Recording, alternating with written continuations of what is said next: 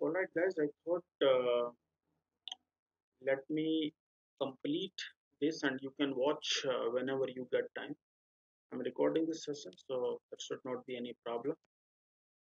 Right, let me go here and click on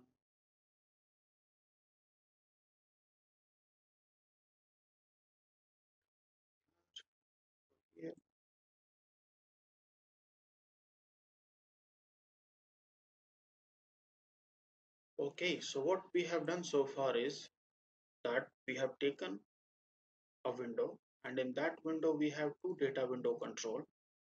Because we have two data window control because we have two data window control means we need two data window object as well. So we created two data window object. One is free form and second one is tabular type. Okay? All right and then what we have done is we have uh, written some code on this uh, new screen that reset and insert row. Okay? So you have seen that how many functions we have used so far. See set trans object insert row and retrieve. We collect all these functions we have used set trans obj set trans object sql ca insert insert row retrieve retrieve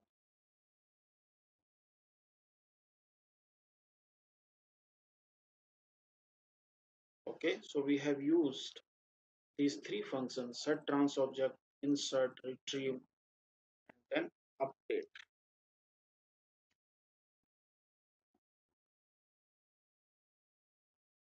Okay so see and then so how does it work basically?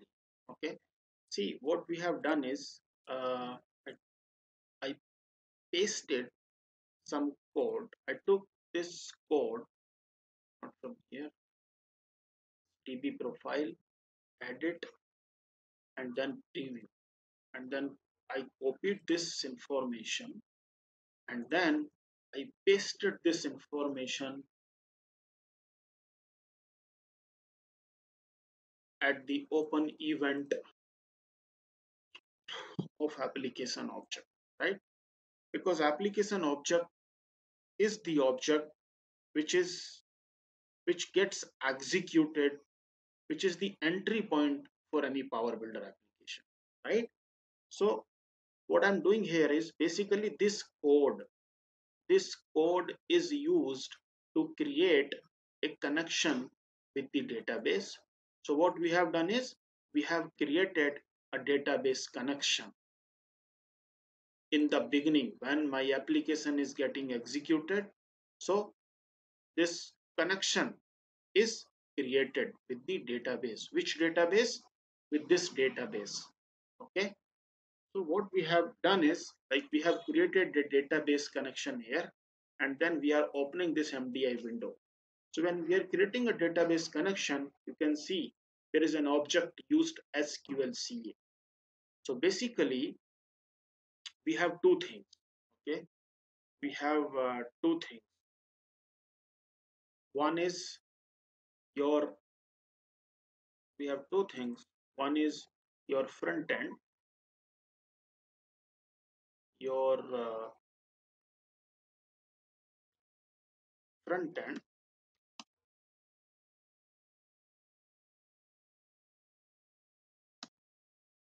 and second is your back end right then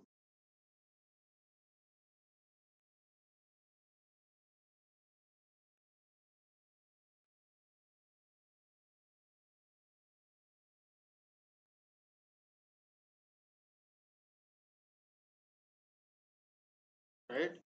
What is your backend means? Front end you are using power builder. And backend you are using a database. What is the name of that database? ADAPTI adaptive server A N Y W H E R adaptive server anywhere which comes with power builder which comes with power builder okay all right. So so far your database and your power builder is on same machine right? But these two things these two are different things okay?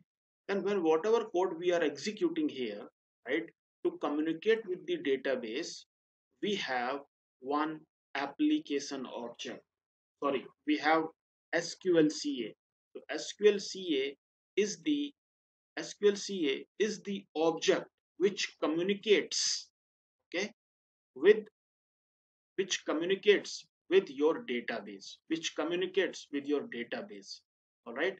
So we have sqlca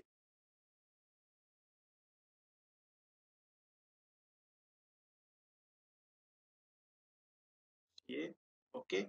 Sqlca is a power builder object. Sqlca is a power builder object which communicates with the database which communicates with database. Okay? So power builder will tell to this sqlca hey go and connect with this database. All right so whenever we tell okay go and connect to this database right then we have to tell that okay to which database this sqlca has to connect. Okay? To which database this SQL database has to connect. So that is the reason we have created, there is already, when, when you install Power Builder, when you installed Power Builder, Power Builder was installed and a database was installed and there was one more thing created that is called DSN, data source name. What is a DSN basically, right? You can Google also. So DSN is used further to connect to a client okay?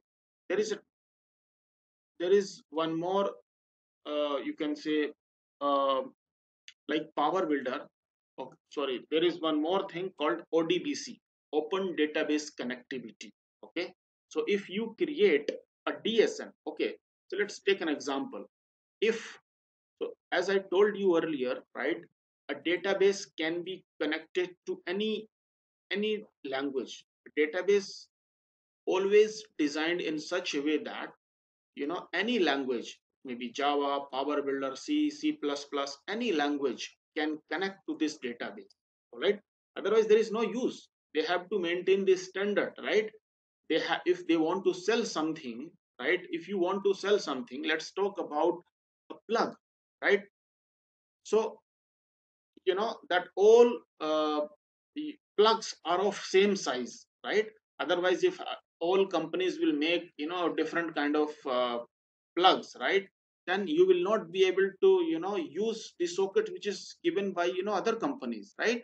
So everybody maintains a standard. Everybody try to maintain a standard so that most of the peoples can be can use you know that that product or that thing right? So similarly to connect to any database right every you can you can connect so you need one connection and that connection is called odbc okay? That connection is called odbc open database connectivity all right? So basically there are two two you know methods you can connect to a database. One is through odbc and the other one is native drivers. We will discuss native drivers later but yes there is you know this dsn so so first we let me type here odbc okay? There are two odbc data like you know data sources. One is 32 bit 64 bit. Let's go to this 34 32 bit. If you go here all right system dsn you can see eas demo db all right? So when you installed power builder when you installed power builder one db was one DSN was created. One DSN was created and the DSN name was EAS Demo DB. EAS Demo DB. Alright. if you go here and see configure you can see okay the user id is dba and password is default sql and you can see that file that database file is kept here all right sorry this is uh, the start line this is the file eas demo 105.db 105 means 10.5 version of the power builder. So that is why we are calling it es demo 105 all right so database is a separate thing. So what was what was done when you installed power builder? Okay so power builder was installed a database was installed and one dsn was created so that people can use it. One more dsn you can see this the similar name unicode data you know this and this unicode uh, database right? Both are pointing to the same you know there are other things as well. Just keep in mind that okay these two dsns are used to connect to that db right? So we are using this one. So when you created a profile so what it means is okay so what it means is if we go to power builder right and if you go to, to this db profile what you have done is you have created a profile db profile in which you have created you have given the profile name is this and this profile name is connecting to which db you have selected the data source name here right? So this this drop down is getting the values from that odbc data source all right? And then you have used user id and password. So what it means is what it means is that your power builder sql ca object is connecting to a db how it is connecting via that DSN. It is using that DSN which has all information to connect to that DB. Okay. So what we have done is see DSN ES demo DB is used, right? User ID is this and password is this, right? All right. So what we have done is that we are using this. So this SQL CA is using this DSN to connect to that DB, right? So this is one thing. So what we have done is the connection should be created in the beginning of that application so that you can use that connection anywhere in your application, right? So first thing what we have done is we have we have created a connection at the open event of application object. Now what we have done is we are using that SQL. So SQL CA is basically a mediator. If you want to speak, uh, you know, uh, with a Chinese person, right? So how, but you don't know Chinese, right? But you want to get things done from him, right? So what you will do is you will add one more mediator between you and that Chinese person who can understand your language as well as who can understand Chinese language. So what he will do is he will understand in English or in Hindi from you and then he'll go to Chinese, will convert into Chinese language and will give it to Chinese person. And again, we'll get back the information in Chinese and will convert into Hindi and will give it to you, right? So basically a mediator, right? So this SQLCA is going to mediate, okay, the database activities between Power Builder and the database, between Power Builder and the database. So SQLCA is the communication area. SQLCA is the Power Builder object which is going to interact with your Power with the database to which you are connected and then you can use you can do whatever you want to do. Okay? Very good. So now power builder will interact with its sqlca object to send any information to the database. What we can send the information? Either we can like you know there are three operations in in in database side right?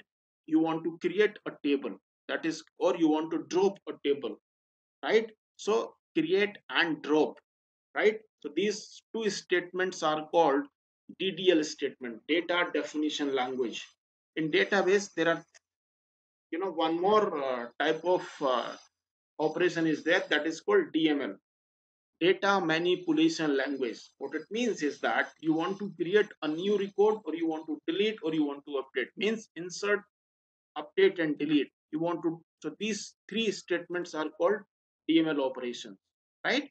Similarly, we have, you know, other types of, we'll discuss later. All right. So what we have done is when we are going to create a screen in Power Builder, this is the first screen which you have created, right? So when you when you open a window, when you open a window, how you open a window with the help of open open function or open sheet function, right? Open or open sheet function. So when you want to when you use open and when you use open sheet, open sheet you are using when you are opening a window under an MDI. So you are opening that window under under an MDI screen, right? So that it can be a sheet under that MDI window, right? All right. So, or you can use open function. When you are using open function, open function is used to open an independent instance, right? Okay.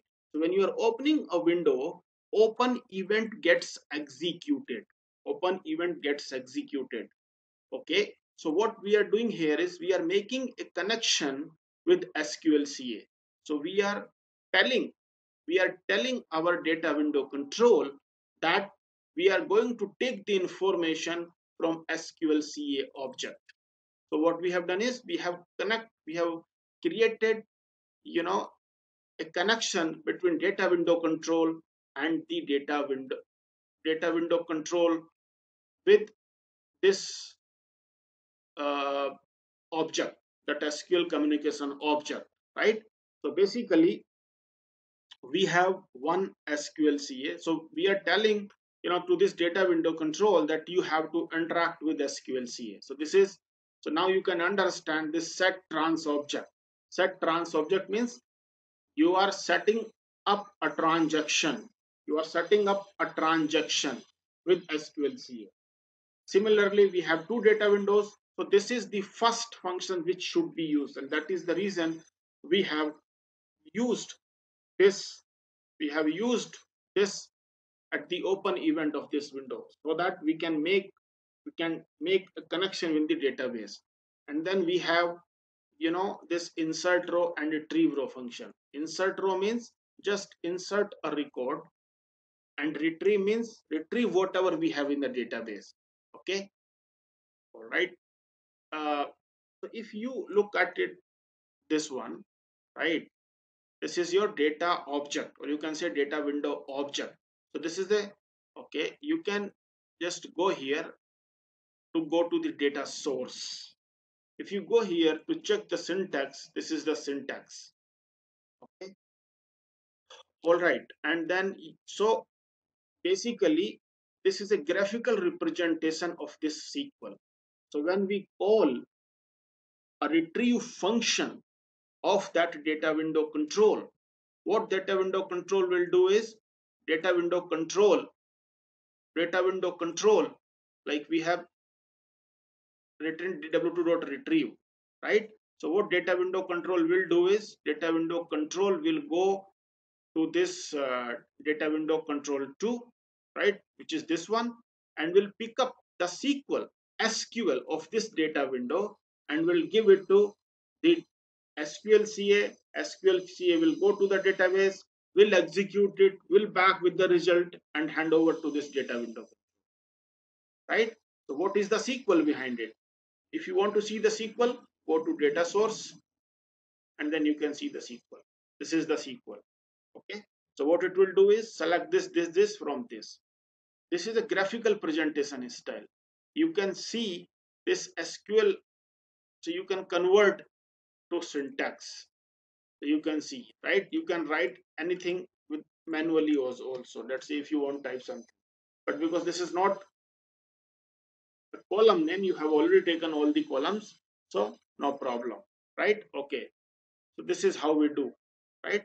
So this so what it means is that retrieve function of this data window control, what it will do is it will take the select statement of this data window control or data window data window control will take the select statement from data window object and will get that SQL will send back it to data window data uh, database object and database object will return the data and will give it to SQL CA and SQL CA further will give this information to this one.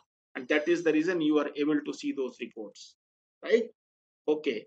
Similarly we have used update function over here what update function does is update function updates the records in the database.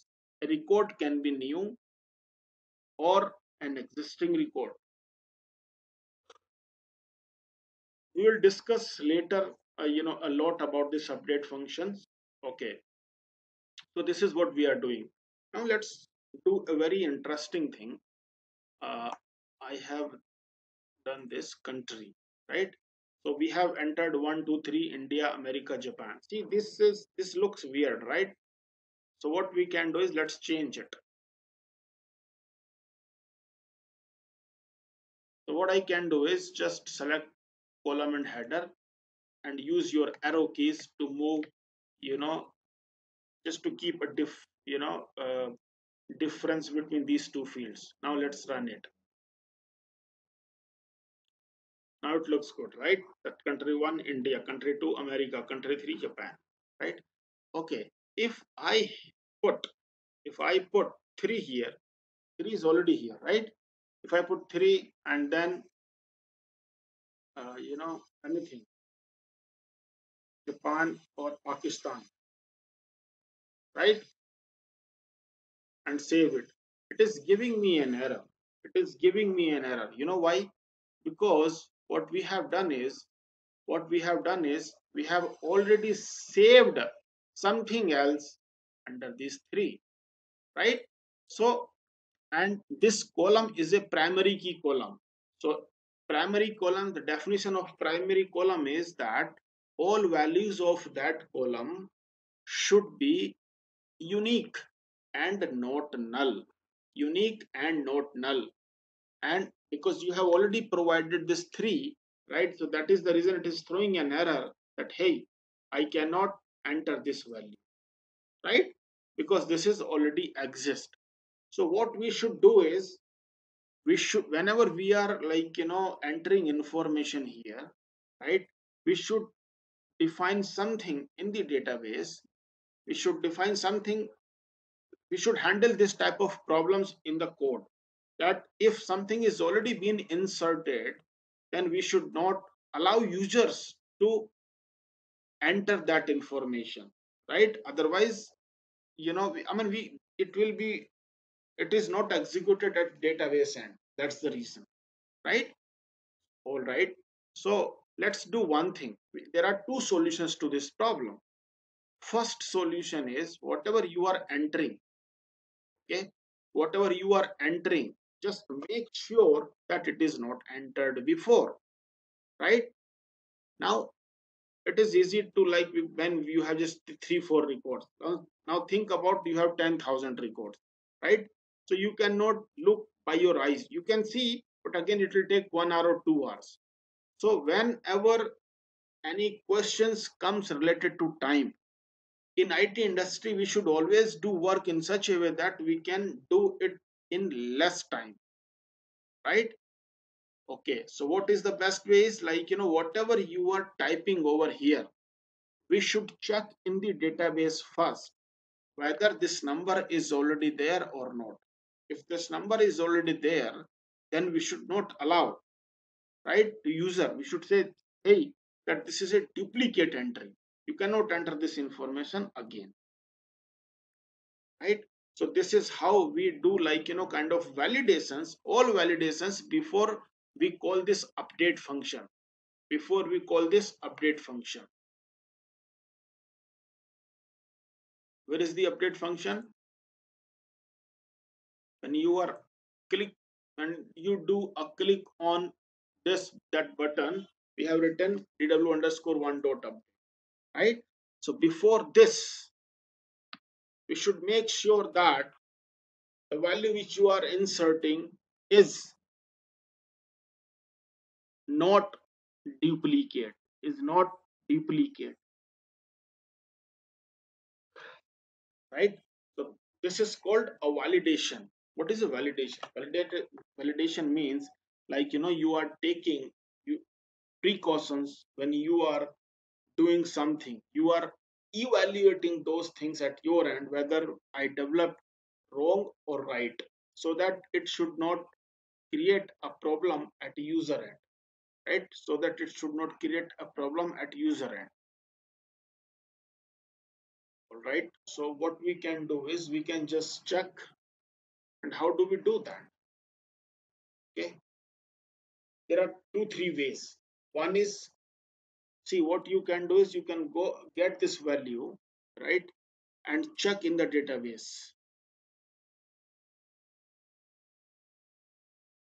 Right that whether whether that value is there or not. If that value is not there if that value is not there then it is fine. If the value already exists then it means it is a new record and you say you can say okay then go and update it right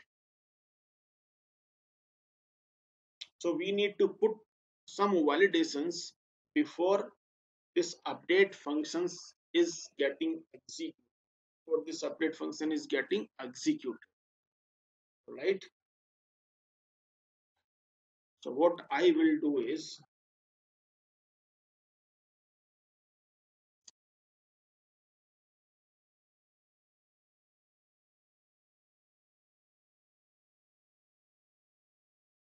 hmm. Okay so this is one way. Second way is we should not do anything in that window uh, sorry we will not uh, see this is an incremental number. The id is an incremental number. So what we should do is we should not worry about you know id number. Let it increase with one number right? Let it increase with one number